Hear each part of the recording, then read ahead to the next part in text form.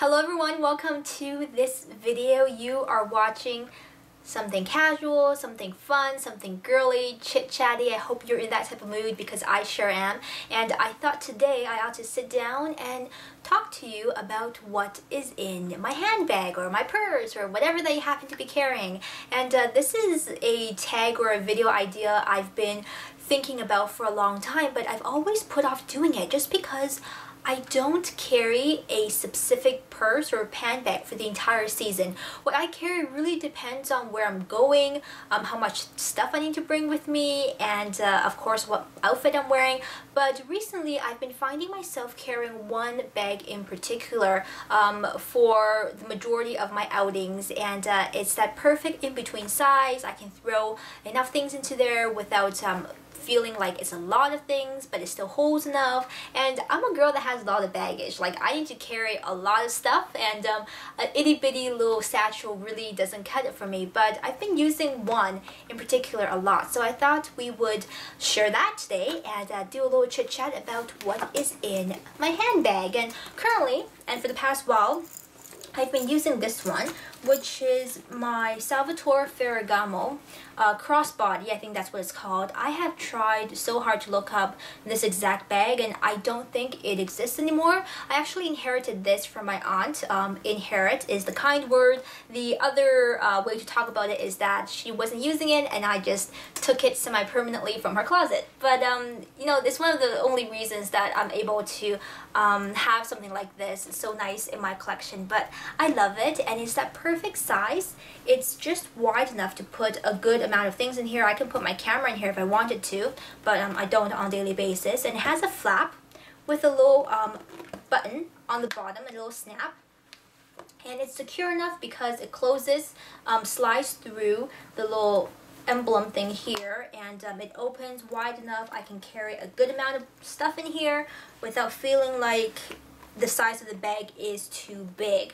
Now, I have a feeling that she probably bought this a very long time ago, and um, perhaps they may even have been an Asia exclusive, I'm not sure. What I would try to do is find something of a similar style and size and leave it down in the information bar in case you guys want something similar to this. Um, one of the reasons I like carrying this, other than the fact that it's a tan color and that goes with everything, whether you're doing something playful or more sophisticated, I can wear this on many different occasions, but also because the size. I'm a very small person and this bag doesn't overwhelm me, but I can still carry a good amount of um, items in here. So this is something that I would take out if I am going out on a casual date, meeting girlfriends, if I'm going shopping, um, if I don't need to bring any sort of documents or, you know, big items, um, everything I need fits right into here. So this is more of my casual day-to-day -day bag, shall we say. So let's talk what is inside.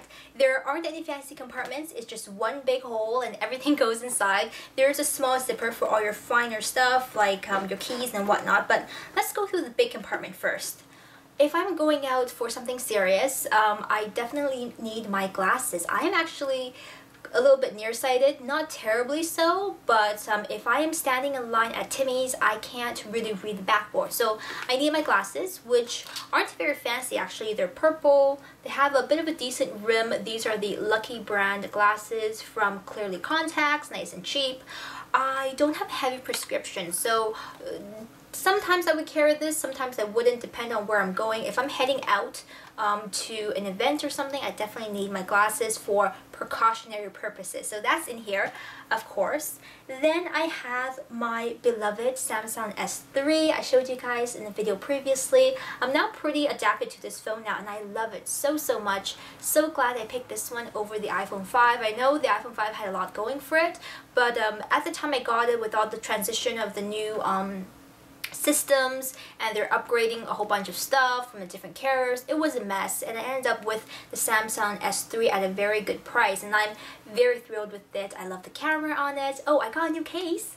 This is the case I decided on after asking you guys for suggestions. It was really hard to find a nice case for the Samsung S3. There are a lot of standard ones, but there weren't very many that suit my personality and my style and um, I, I don't want just any old random case if you know what I mean. So I'm pretty happy with this design and uh, I might end up with a few more just to switch on and off but thus far, love this, my S3. I use it for a lot of things.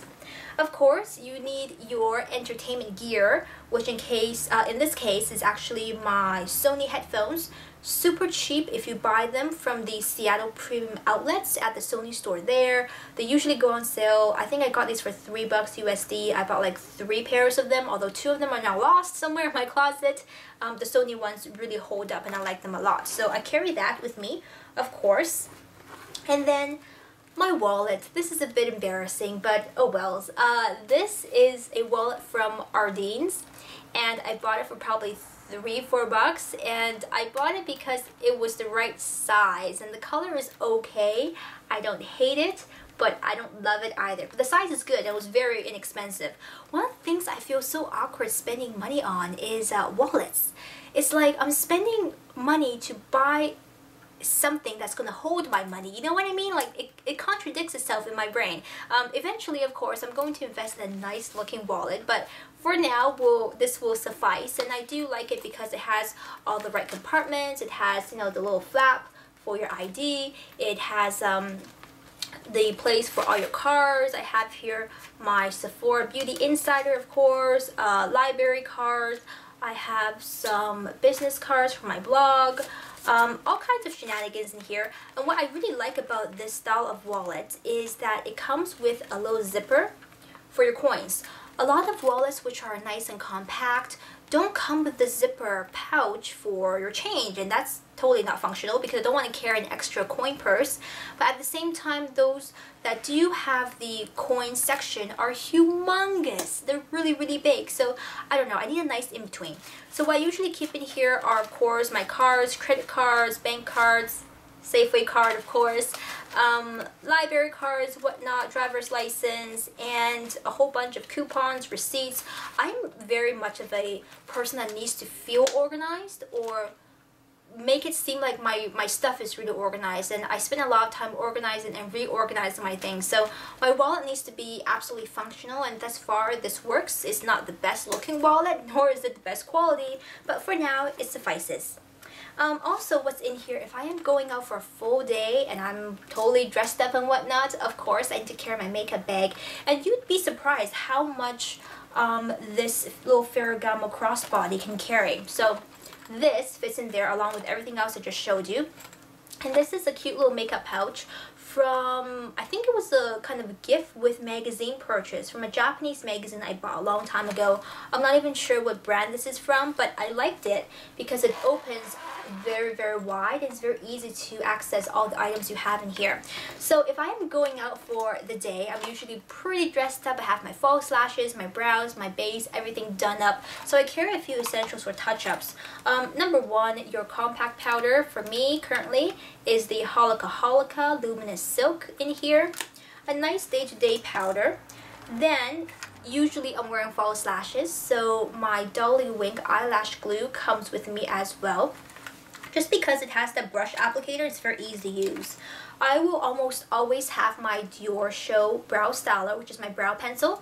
Um, this stuff is just fantastic. I mean, I'm gonna dread the day I run out of this, but I'm absolutely going to buy a new one straight away. Can't live without this, even though it is $30. Oh my goodness, but it's some really fancy stuff and I really like it. Um, next up, I have been carrying a blush with me recently, and this kind of started with the Toronto trip and a little bit before Toronto. Um, I've been recently using the Bourjois Cream Blush. This is number one, a very natural kind of apricot shade. Very easy to wear. It's a cream to powder formulation. I will talk about it further in a blog post, but I've been carrying this in my bag. It actually has a little mirror, which makes it very functional, and it's not too large, so I can just slip it into my purse. When it comes to lip products, um, I think most of us carry way too many lip products than we actually need, but I think this is just because we like to have options, right? Maybe you change your mood and you don't want to wear this lip color anymore, so you need to have something else to choose. So I usually carry my lip pencil, which is the number 7 lip pencil in nude, um, the Lisa Eldridge inspired or created color. It's fabulous. It's perfect. I'm in love with it. I will definitely buy more of these. But the color pretty much is exactly what you see on the outside. I use this very frequently. I have my Burt's Bees lip balm right here. This is the pomegranate one. Doesn't have any color, but it's light and nourishing, easy to use. And I usually have a choice of two lip products. One would normally be a bright lip color, which I won't use all over per se, but I like to dab it on and um, have, have a little bit messy, a little bit um, casual, but still with a punch of color. So currently it is the Kate Moss lipstick from Rimmel in number 13, which looks like this, nice and bright. Um, but again, I don't wear this like a perfect bright lip. I like to dab it onto my lips instead. Another option I like to carry is a lip gloss. And uh, this is a long wearing lip stain from L'Oreal, the Caresse Shine Stains. I have the shade in 184 Rose On and On, which is a perfect shade to carry around because it is brighter than your natural lip color, but it's a little bit less than something like the Kate Moss, uh, the super bright um, hot rose sort of um, or hot pink slash rose color. So one of each so I have options with me. And then of course you gotta have band-aids I have that in here. You gotta have a hair clip I have that as well. Um, so makeup bag wise it's pretty simple. I don't take too many things with me but definitely eyelash glue compact powder some lip products and an eyebrow pencil are necessities for me now last things in here are um, some tissues, not very interesting here, and also of course my keys I need to have with me, and um, bus passes because it's Vancouver and transit is convenient, so I usually keep that in here. So that wraps up what is in my bag. And um, in case you're wondering again, this is the uh, Salvatore Ferragamo. Again, I'll try to look up something similar. I don't think they make this exact bag anymore, but I love this bag. I think I'm going to use it until it falls to bits and pieces. And it's really the perfect one to carry for my casual days and fits everything without looking like I'm holding a lot in here. So Hope you enjoyed this casual video. If you would like to see something similar like this in the future when I update my bag or whatnot, leave me a comment down below. Give me a thumbs up. Let me know how you're feeling about these and I will talk to you very soon. Take care of yourselves. Bye-bye.